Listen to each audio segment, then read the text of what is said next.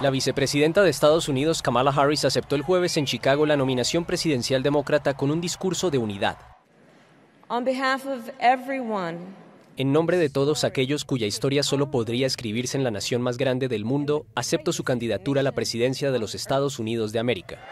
I accept your nomination to be president of the United States of America.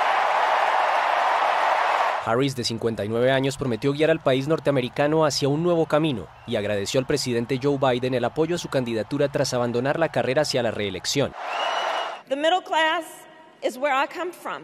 La flamante nominada como candidata a la presidencia del Partido Demócrata rindió homenaje a sus padres y a sus orígenes como hija de inmigrantes de clase media. También abordó temas como la política internacional estadounidense y aseguró estar trabajando contrarreloj junto a Biden para conseguir un alto el fuego en Gaza entre Israel y el movimiento islamista palestino Hamas.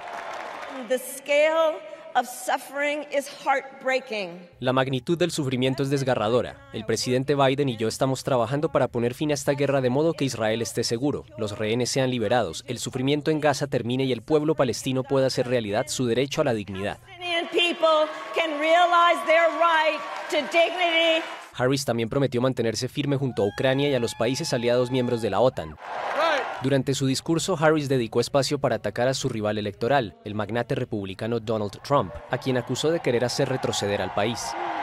El candidato republicano respondió al discurso de la candidata demócrata en su plataforma Truth Social y señaló a su rival del próximo 5 de noviembre de no hacer nada más que hablar.